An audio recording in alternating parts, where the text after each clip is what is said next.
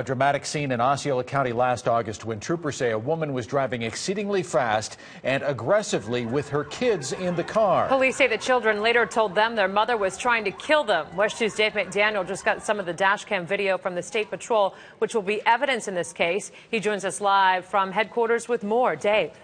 You know, Martha, the highest speeds in this whole incident actually happened on the Florida Turnpike. That video has not been released yet, but this video from US 192 after the suspect got off of the turnpike gives us a pretty clear idea of what was going on that day in late August. The trooper in pursuit of the SUV is doing what he can to keep the driver believed to be 36 year old Angela Estrella in sight, and he tries to get her stopped.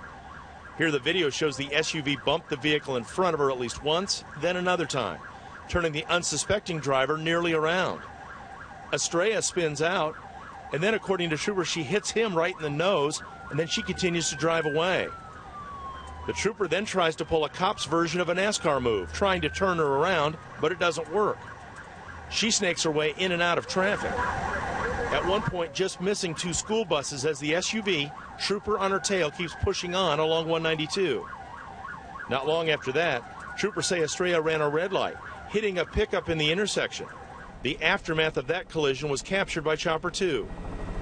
On the ground, troopers take out the suspect's 18 year old daughter, then her 6 year old son. Eventually arrested her on multiple charges of endangering the lives of her children and others.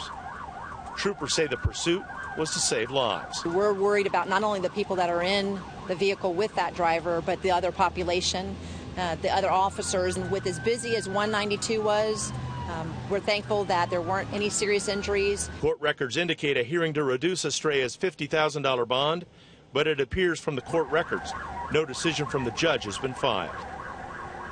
On scene that day, a trooper actually fired three shots at that suspect's SUV, saying that the driver of that SUV tried to drive at him.